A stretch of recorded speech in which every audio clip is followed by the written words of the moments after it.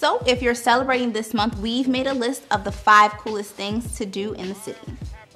In no particular order, the National Constitution Center's Breaking Barriers exhibit gives visitors an inside perspective through the eyes of Thurgood Marshall, Bessie Coleman, Jackie Robinson, and if that's not enough, take a self-guided tour. All this all month long until February 28th. Number 2.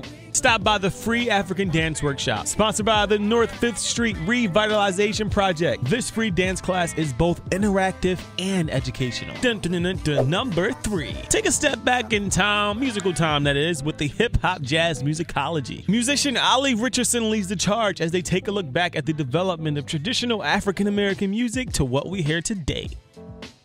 If you're feeling artsy, head down to the Kimmel Center for performances that'll help you embrace your blackness. Alvin Ailey American Dance Theater's African-inspired modern dance kicks off the month's events, followed by a free, did I say free, performance by Philadanco. By the way, it's free.